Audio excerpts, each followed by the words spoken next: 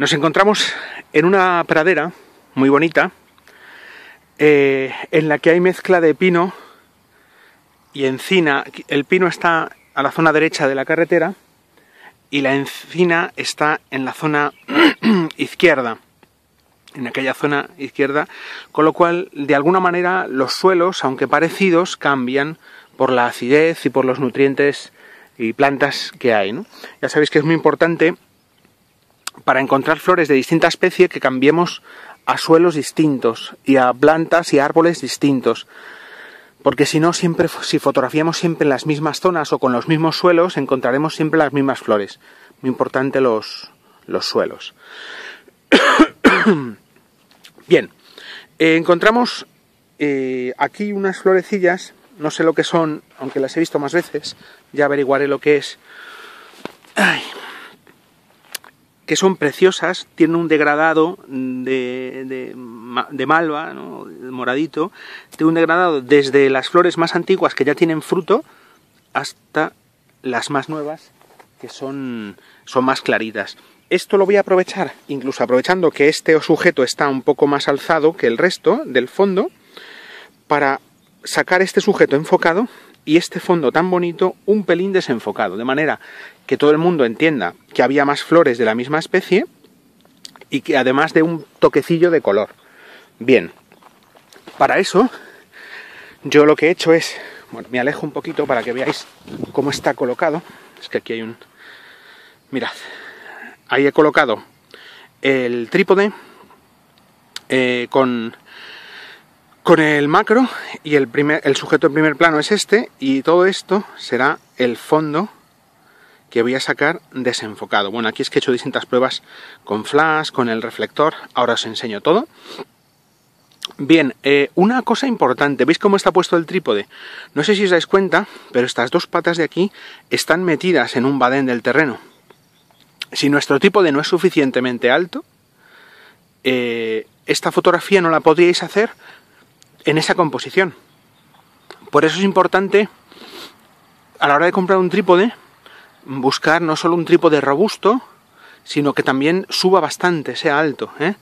Esta pata está más recogida y estas están estiradas a tope. Todavía me queda un poquito de columna para subir, con lo cual podría subir un poquito más. ¿Veis?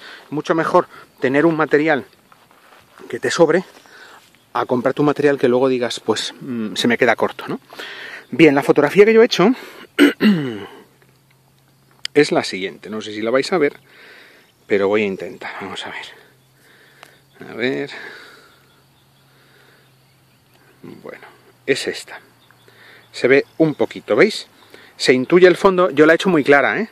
Porque he maximizado la luz que puede coger la fotografía sin que sobreexponga. Así conseguimos la máxima cantidad de información que recogen los píxeles tanto de, bueno, de tono, de color, de todo. Luego ya en el procesado pues bajaré un poco la exposición porque está muy clara ¿eh? y si no no se ve el fondo, pero el fondo está lleno de plantitas de la misma especie de color y otras especies pues que dan colores eh, no solo el morado sino azulados, amarillos, más luego el verde. A esto yo le he añadido por aquí por la izquierda eh, primero lo he puesto lejos, el reflector, he puesto un flash que veis ahí puesto que disparaba sobre el reflector y el reflector reflejaba la luz para suavizarla.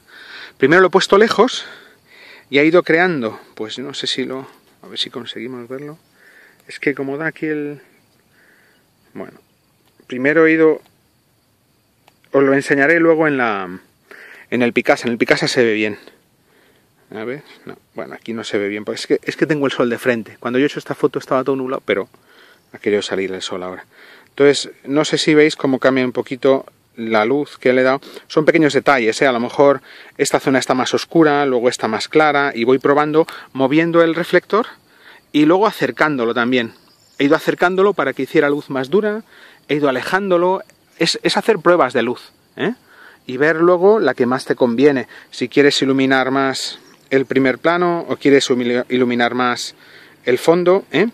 Aquí a lo mejor uno de los trucos es hacer la fotografía un poquito más oscura y darle el toque de luz para que se vea bien la luz en el primer plano. Eso es muy importante. ¿eh? También, o sea, dejar la foto un poco más oscura y destacar un poco con, el flash el primer plano. Eso hace patente un poquito el flash, pero parece luz de, luz de amanecer. Es una cosa muy bonita. Mirad, he hecho otra composición que es muy interesante y es en horizontal, ¿veis? Es un poco el mismo...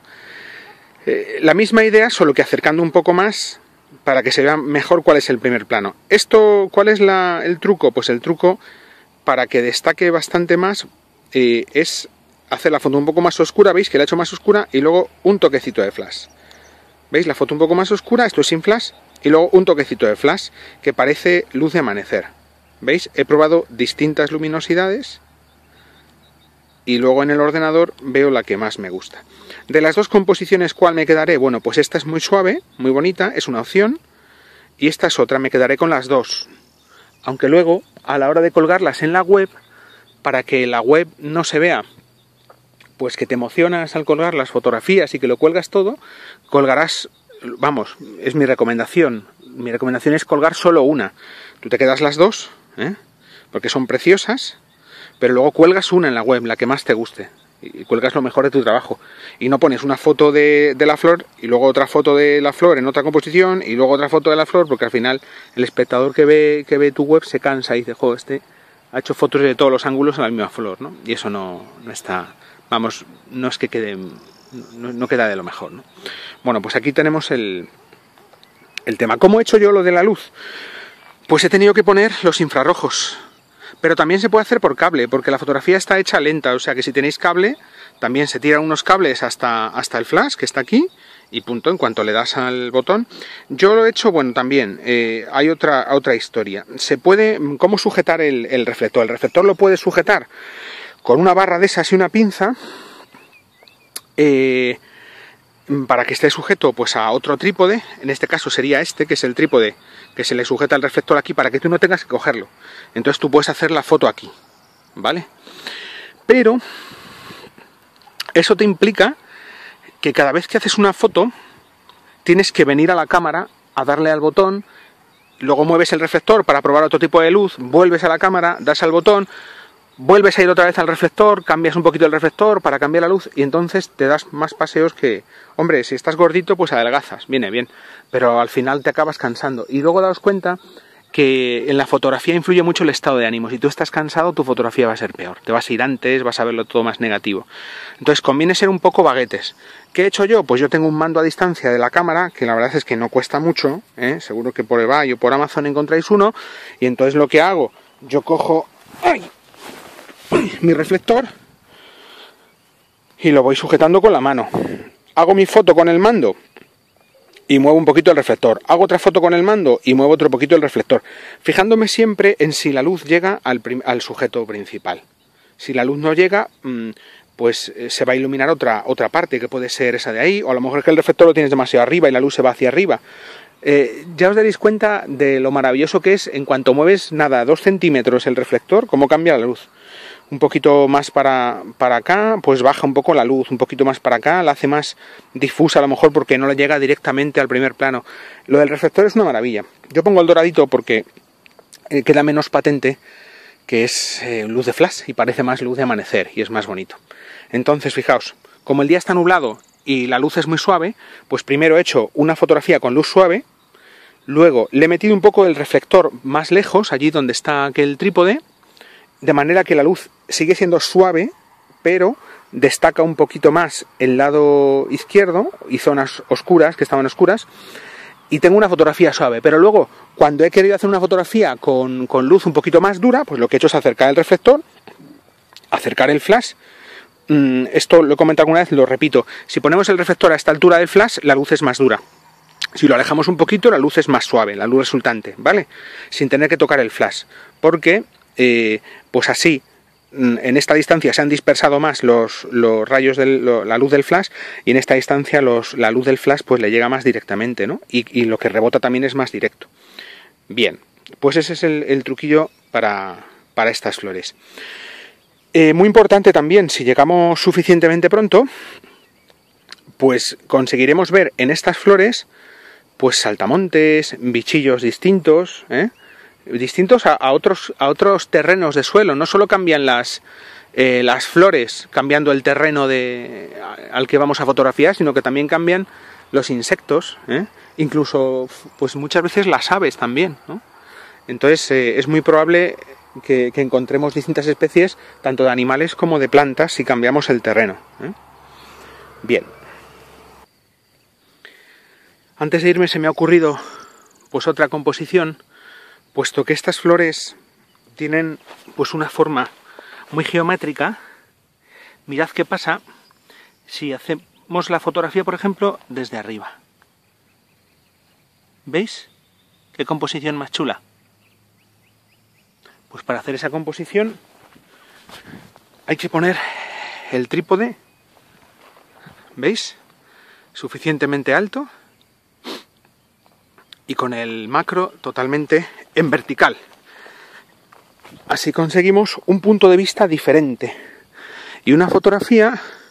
A ver, vamos a poner esto para que lo veáis bien. A ver si consigo que se vea bien aquí. Vamos a ver. Mirad qué fotografía da como resultado. ¿Veis? Un poco muy curiosa, ¿no? Es una fotografía diferente.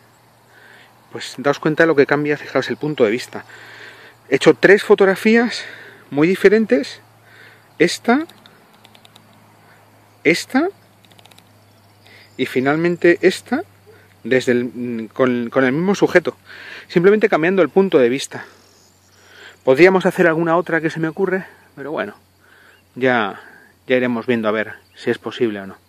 Y ahora lo que hay que hacer pues es buscar más flores para ver más sujetos e intentar eh, conseguir distintas posibilidades. Ahora os voy a mostrar una toma muy baja que vamos a hacer a una flor minúscula. No sé si la vais a ver, es esta de aquí. Es pequeña, pequeña, pequeña, pequeña, pero de una belleza increíble. Es de esas florecillas que si no te fijas al caminar en el campo, la pisas.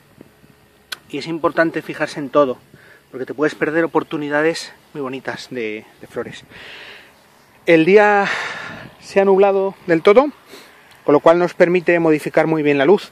Podemos hacer la fotografía con luz suave, sin flashes, o podemos añadirle un poquito de volumen, que es más deseable, para dar un poco más de vida a la foto mediante los flashes. Yo he colocado, mirad, aquí sí que he colocado el trípode, una pinza de estas con una barra flexible que va a otra pinza que me sujeta el reflector, para que yo no tenga que estar moviendo el reflector.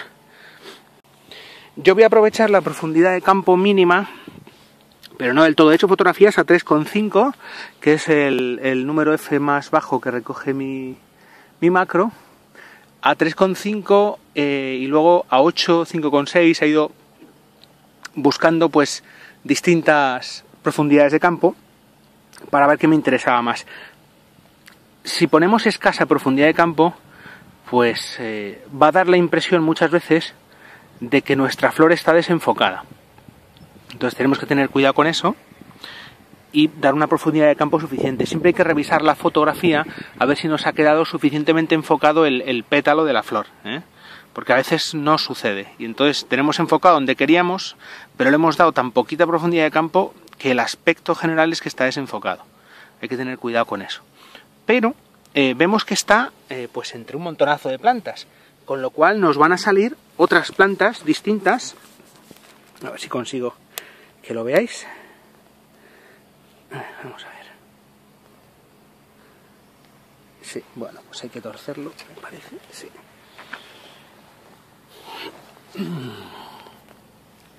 Salen otras plantas distintas. No sé si esto va a enfocar. Ahí está. ¿Veis la fotografía que ha salido? Esas especies de espiguitas. He hecho la foto a F5, a 1 partido por 200 y con una luz muy alta que luego bajaré. Bien, he encontrado una especie de jara, en vez de ser blanca, es de color rosa, muy bonita. Y como hace muchísimo viento para hacer macrofotografía, lo que he hecho es colocar un trípode con la pinza, la barra flexible y sujetando el tallo un pelín sin hacer fuerza. Esto no se cierra, esto se deja abierto. ¿Veis? La planta realmente está suelta, se puede sacar. simplemente se coloca ahí para evitar que el viento la mueva más. Siempre la va a mover algo, ¿eh? porque es casi imposible eh, o, imposible eliminar toda la vibración que crea la brisa. Pero eh, con esto eliminamos bastante.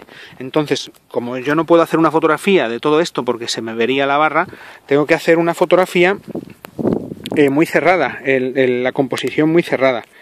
Os voy a mostrar, a ver, ¿dónde está? Aquí.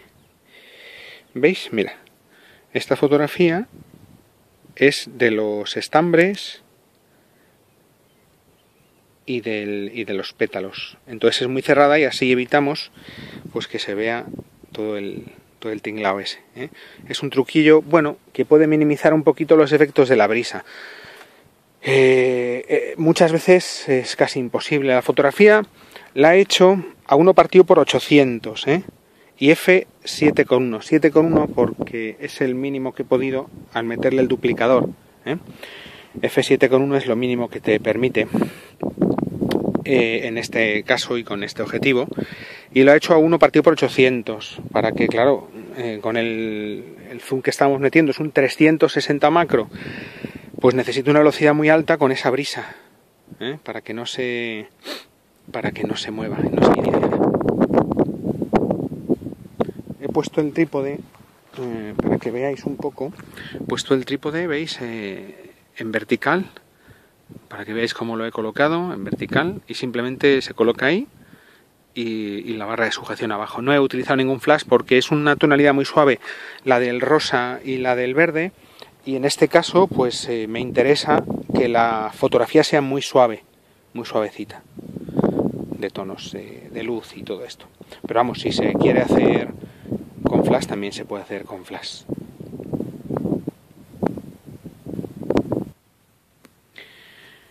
Uno de los tipos de fotografía más controvertida es la fotografía de movimiento, en la que hacemos disparos a velocidades relativamente lentas, moviendo la cámara, para imitar los trazos de la pintura. Eh, nos deshacemos un poco de, la realidad, del enfoque, y nos vamos un poco más a, la imaginación a buscar con la imaginación pues un cierto tipo de, de fotografía que se centra sobre todo en los colores que pueda tener esa fotografía, en lo que nos indiquen esos colores y eh, también en la mm, el contraste quizás, ¿no? El contraste, aunque conviene que, que no dé un mensaje que cree confusión, sino un mensaje claro. Bien, esto es el, el, el campo como está ahora de florido y cuando está pegando el sol fuerte como ahora, una de las eh, opciones que tenemos es hacer fotografía en movimiento. Bien, yo he utilizado, para hacer este, esta fotografía, he utilizado la cámara a 1,3 segundos. Esa es la prioridad que yo le he dado. Aunque tiro manual, mi prioridad es 1,3 segundos. Y el resto lo va a determinar la cámara. He tenido que poner ISO 100 porque, claro, a 1,3 segundos y con este sol directo, pues eh, la cámara sale sobreexpuesta. Entonces lo he puesto ISO 100 y el número F puede ser el que queráis. ¿eh? Aún así yo lo he puesto a F22 y me salía demasiada luz, con lo cual he tenido que poner un filtro, que os lo voy a enseñar ahora, de densidad neutra. Yo tengo un filtro de densidad neutra de 6 pasos que, ¿veis? Eh, bueno, se ve un poquito. Si os fijáis, bueno, es que el móvil adapta la luz de maravilla. Pero si yo retiro el filtro y lo pongo a medias, el móvil se va a hacer un lío. ¿Veis? Porque no sabe si coger la luz de la derecha o adaptar la luz a esto. Bien, entonces yo con mi filtro de densidad neutra de 6 pasos es un B más W, esto lo suelo decir siempre, pero bueno, es un 64 por. No sé si lo captará por ahí. Mm, no, no lo va a enfocar, yo creo. Bueno, os lo digo yo, un B más W de 64 por, que pone ND 1,8. 6 diafragmas, vamos.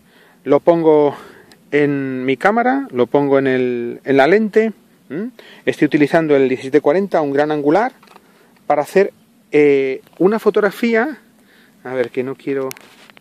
que va a ser esto, en vertical. Va a coger los, sobre todo fijaos, más que en las flores, fijaos en colores.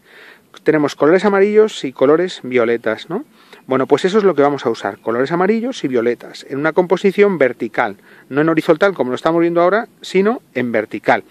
Y lo que voy a hacer es mover eh, mi cámara, para hacer la fotografía voy a mover mi cámara una vez que yo tengo lo que quiero, haciendo círculos. Yo lo que hago es darle a que haga la fotografía a los dos segundos. ¿eh? Pongo el disparador a dos segundos, de manera que yo disparo y luego ya me dedico a hacer el movimiento sin preocuparme de disparar y hacer el movimiento a la vez. ¿eh? Entonces, yo haría mi fotografía dos segundos y cuando suena el, obturador, clac, yo tengo 1,3 segundos para hacer la figura que quiera. Puedo hacer así, por ejemplo, en vertical o en horizontal.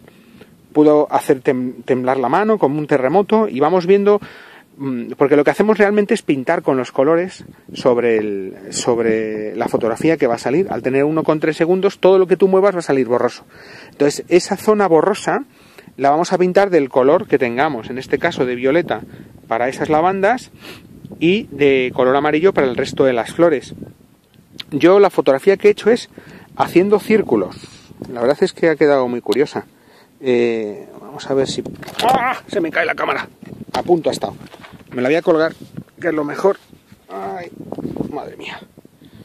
Esto de tener dos manos solo es un impedimento. A ver si os lo enseño. Voy a preparar la foto. Vale, no sé si lo veréis. Vamos a intentar que lo veáis. Mm, a ver si enfoca este supermóvil. Enfoca. Vale, enfoca. ¿Veis cómo ha salido? He hecho círculos y ha salido círculos amarillos, círculos blancos de las flores blancas, círculos verdes que se notan menos y círculos moraditos de las lavandas. ¿eh? Esa fotografía, una fotografía pues así como surrealista, eh, eh, contemporánea, vamos, lo que se llama una fotografía rara. En difuminados que, bueno, pues yo creo que se nota un poco que son flores, que es un poco lo que se trata, ¿no? Que se nota que son flores, pero tiene algo especial, que son esos círculos que he hecho yo con la cámara. En, esos 1,3 segundos que dura la fotografía, he hecho círculos. Tendréis que hacer muchas pruebas. Esto yo lo he hecho sin trípode. Se puede hacer con trípode, se puede hacer con el trípode dejándolo un poco suelto para que nos sujete la cámara y solo tengamos que preocuparnos de mover el objetivo. ¿eh? Si movemos el objetivo desde aquí hay que tener cuidado con el enfoque. Aquí el enfoque la verdad es que da un poquito igual, pero bueno, mejor eh, poner un enfoque que nosotros queramos ¿eh? y luego movemos la cámara. La cámara la podemos coger desde aquí y hacer los círculos directamente desde aquí. Con una mano cogemos la cámara, que la dejaremos fija, o bien la dejamos en un trípode y los círculos los haremos directamente cogiendo desde el extremo de la lente, porque se controla muchísimo mejor el movimiento. Ese es un tipo de, de fotografía en movimiento, ¿vale? Luego el movimiento que hagáis con la cámara, pues depende mucho de lo que os encontréis. Yo intentaba hacer una fotografía también de este paisaje tan bellísimo que tenemos, sacando ese árbol y el cielo, pero bueno, al final no convencía, ¿no? Porque los pinos, si os fijáis, son muy oscuros y da un color oscuro. las montañas son oscuras y da un color oscuro. Entonces, cuando tú lo difuminas todo, al mover la cámara, pues queda un borrón. ¿eh? Entonces, sobre todo hay que aprovechar la luz y los colores. Ahora, como estamos con un sol maravilloso, pues hay que aprovechar los colores morados, los colores amarillos, los verdes, ¿eh? y fotografías, pues cercanas. Yo uso el angular, en este caso, eh, porque me permite bueno, en este caso y casi siempre he usado el angular, salvo alguna vez que he usado el 70-200, pero casi siempre el angular. Porque bueno, pues coges más cosas, ¿no? Tienes, no lo hace falta que lo pongas a 17, pero a lo mejor si lo pones a 40 milímetros, el 17-40 por ejemplo, este, a 40, o si tenéis un 18-55 a 55, y, conseguís un poco eliminar lo que sobra, pero os centráis en, en parte del paisaje, ¿vale? Y bueno, pues con esto lo podéis hacer en un montón de situaciones. Lo podéis hacer en el mar. Eh, en el mar salen muy bonitas las olas difuminadas. En el mar, por ejemplo, aprovechando el horizonte, pues podéis hacer movimientos horizontales con un trípode, simplemente dejando libre la maneta, si tenéis una rótula en 3D, dejando todo apretado menos la maneta que mueve en horizontal, pues ahí lo movéis perfectamente horizontal. Tienen que estar muy centradas esas fotos, las que se hacen en el mar con movimiento horizontal. Tienen que estar muy centradas porque si no se nota que se ha descentrado la foto y ha quedado mal. Y dejar la proporción justa de cielo. ¿eh? Eh, tenéis que ver el resultado final, pero no dejéis proporción de algo que no nos da información sobre belleza. Imagínate que tienes un cielo azul que es muy bonito, pero si sacas demasiado es como una falta de información en la foto y le resta belleza, ¿no? Aprovechad, por ejemplo, las olas si estáis en el mar, ¿no? Si estáis en montaña, pues es más complicado, porque las montañas de lejos se ven más azuladas, oscuras. Si estáis en un pinar o un encinar, pues se ve muy oscuro, pero por ejemplo, queda muy bien en otoño. Fotografía en otoño de un paisaje en otoño que hay distintos tipos de amarillos, rojos, marrones eh, y hacéis fotografía en movimiento, pues os quedará una fotografía ah, curiosa. Si hacéis poco, o sea, esto es, hay que hacer un movimiento tal que uno se dé cuenta al ver la foto que se ha hecho aposta, porque si no, da la impresión de que se te ha movido. Y no se trata de que cuando vea a alguien una foto diga, jova, qué torpe el fotógrafo, ¿no? Le ha salido movida, no. Tienes que hacer el suficiente movimiento para que se dé uno cuenta de que esa fotografía está hecha aposta, así. ¿eh? No dejemos lugar a, no dejemos confusión ¿no? en el espectador. El que ve la foto tiene que decir, ah, pues mira, la ha movido. Que se note. Entonces, si hacemos un movimiento, podemos hacer desde un movimiento eh, mínimo, pero que, que, muestre que se ha movido, hasta un movimiento muy largo, ¿no? Que uno no sepa lo que ve.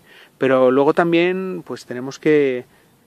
O sea, se trata un poco también de reflejar la naturaleza eh, y, no desfasarlo. Es decir, no que veamos una foto y digamos, ¿y esto, esto qué es? ¿no? no sabes si es naturaleza, si es que se te ha caído, yo qué sé, el perrito caliente y se ha manchado, ¿no? Eh, de Kepchu, la foto no sabes lo que es, ¿no? Eh, pues eso no puede ser, ¿no? Si, si el fotógrafo de naturaleza tiene que mostrar la naturaleza, entonces se tiene que ver en la fotografía qué es naturaleza, que son flores, qué es el mar o qué es lo que sea, y a la vez que haya movimiento. No es fácil, ¿eh? es una fotografía difícil, pero es muy, es muy bonita, ¿no? Yo, por ejemplo, ahora, eh, aunque vemos el campo así de bonito, intento hacer eh, fotos de insectos y no hay manera, imposible. Había muy poquitos insectos, ahora han salido las abejitas ya, pero muy pocos insectos, a pesar de que está hasta arriba de flores. No hemos conseguido ver, no he conseguido ver ninguno, ¿eh? ningún insecto parado, nada, ni arañas, no había nada, no, no, no sé por qué, la verdad. Supongo que cada, cada hábitat pues tendrá una cantidad de insectos. Pero no he conseguido ver eh, nada especial y me he quedado con las ganas. Y ahora me iba a ir y digo, anda, pues ha salido el sol, que estaba todo nublado. Y he dicho, ah, pues mira, una oportunidad para hacer fotografía en movimiento de las lavandas y las flores amarillas, ¿no? Entonces, eh, hay que aprovechar las oportunidades que te da el campo. Si no te da oportunidades, pues nada. Pues si te da oportunidades, hay que, hay que ser versátil en la fotografía que hacemos. Una fotografía que al principio a lo mejor puede que no guste, pero oye, cuando uno se aficiona y le salen resultados bonitos, pues eh, la verdad es que es bastante interesante. ¿eh? Vale. Bueno, pues otro tipo de fotografía también para que hagáis en el campo y también vayamos evolucionando para no hacer siempre las mismas cosas. Bueno, eh, se me ocurre ahora, estoy pensando, hay otra cosa que se puede hacer que es muy interesante y es, en la fotografía de movimiento, tú puedes colocar un flash, que te, el flash lo que hace es es como si hicieras una fotografía muy rápida. Tú puedes hacer una fotografía a 1,3 segundos, le pones la cámara la función de la cámara al flash a la segunda cortinilla, tenéis que mm, iros a la zona en la función de vuestra cámara, a donde pone flash y seguro que pone disparar flash a la segunda cortinilla. Eso significa que el flash se dispara justo al final de la fotografía. ¿eh? Mm, ¿Esto qué hace? Pues que tú, por ejemplo, puedes hacer una foto a 1,3 segundos o 2 segundos, haces el movimiento que quieras y al final de la fotografía, ¡pas! suelta un flashazo y deja clavado, deja inmortalizado, se ve eh, bastante nitidez de lo que tú le has dado al flash. Ahí podéis mm, jugar bastante, ¿eh? es muy curioso eso. O lo podéis hacer al revés, que suelte un flashazo al principio vosotros sin ponerlo de la segunda cortinilla. Entonces colocáis el flash donde queráis, no lo coloquéis de frente, el flash en la cámara, porque entonces no saca sombras. Si os interesa que saque sombras, que el flash ilumine una zona concreta. Es decir, esto es para tener o bien un flash por infrarrojos o bien un flash eh, con cable. Con cable bueno, puede ser más complicado porque como tienes que mover la cámara te puede estorbar, pero también se puede hacer.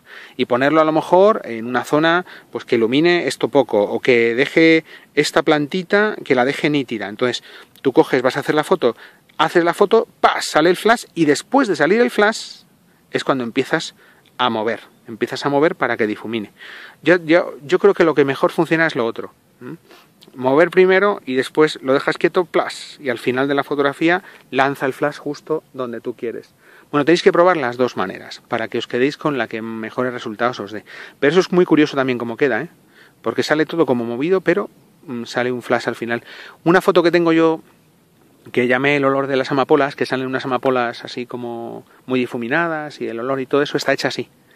Hice movimiento con la cámara y tenía dos flashes a la segunda cortinilla, para que al final se vieran las amapolas e incluso algunas plantitas con cierta nitidez. ¿eh? Y lo conseguí gracias a esos dos flashes, ¿no? para que veáis que es una técnica también de movimiento con flash. Se puede usar, es curioso, ¿eh? Porque la fotografía de movimiento puedes usar trípode, puedes usar flash, puedes hacer un montón de cosas que simplemente limites la imaginación. ¿eh? Por eso yo os invito también a probar este tipo de fotografía que os va, que os va a sorprender bastante los resultados que os dé.